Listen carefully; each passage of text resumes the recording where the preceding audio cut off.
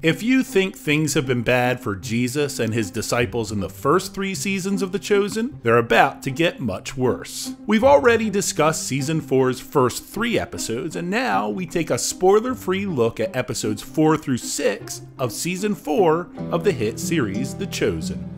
In the aftermath of recent tragic events, the spiritual fortitude of the disciples is truly tested. These trials appear to bring some of the followers closer to Jesus while creating seeds of doubt in others. And as Jesus warns that his sacrifice is quickly approaching, they struggle to understand the depths of that unavoidable reality. Even in the midst of this turbulent time, Jesus continues to perform miracles and spread his message that changes the hearts and minds of multitudes. But it also adds fuel to the fire of those that hate and fear him, and the results could potentially become lethal.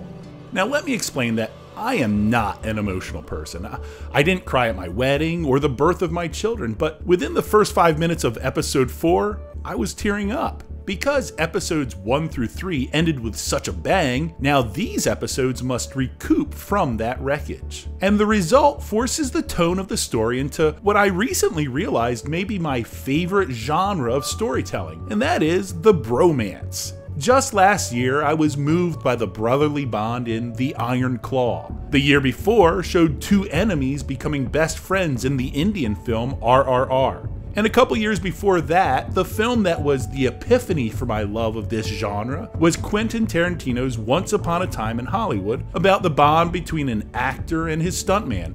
Of course, with a sprinkle of the Manson murders. Very violent. Anyway, with this story focused on 12 men following the Messiah, their bonding into brothers is inevitable. There's a moment where one disciple wants to comfort another disciple in deep grief, but he doesn't know what to say or do, so instead of doing anything, he just decides to be there for his friend. He gently places his hand on the other disciple's chest, and immediately that disciple grabs his hand to hold it. I just felt the breath leave my chest as I watched this unintentional, almost guttural response to kindness. There's another moment where a father visits his son, and the son simply says, don't give up on me, knowing that his work is going to bring unrest to his family. A tear trickles down the father's cheek as he quietly assures his son of his support. I think it's those kinds of moments that set The Chosen apart from many films I watch. The filmmakers don't feel the need for bombastic gestures to evoke pathos. It's almost the restraint of the characters that creates a deeper emotional response from me as the viewer. Additionally, from a filmmaking perspective, let me try to explain just how well this show is produced. Early in the series, you can notice that some shortcuts were taken, set design, costumes, etc. Now, with the show's success and stability, the filmmakers have the freedom to focus on their art,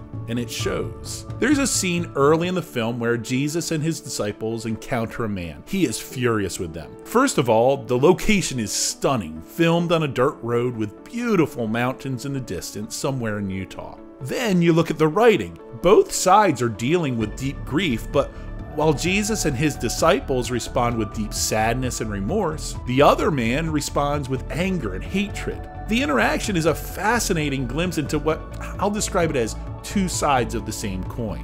The result is sad, exciting, and heart wrenching. It really is a masterclass in storytelling, and I think it's important to express just how high the quality of filmmaking is here. But in the past, so many faith based films have been trademarked by lower quality.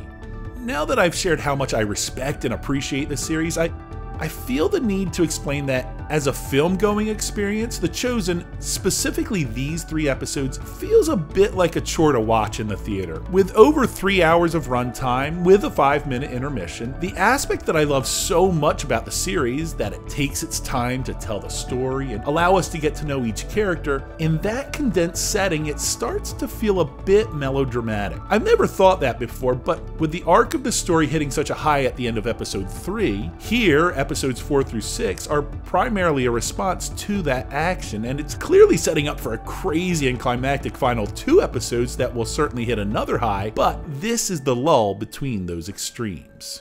I don't want to discourage anyone from seeing this in the theater because it is vital to the storyline. It dives deep into doubt, feelings of failure, prioritizing the right things, and seeking God. It explores the tradition of Hanukkah in a way I've never seen. It foreshadows upcoming events, and it introduces another joke about fruits. First it was dates, then apricots, now pomegranates. Though I wonder if this may be easier to digest in its designed episodic format, The Chosen Season 4, Episodes 4 through 6 continue to trudge their way to the ultimate sacrifice that we as Christians base our whole lives upon. Sometimes it's fun, sometimes it hurts, and sometimes we must be patient.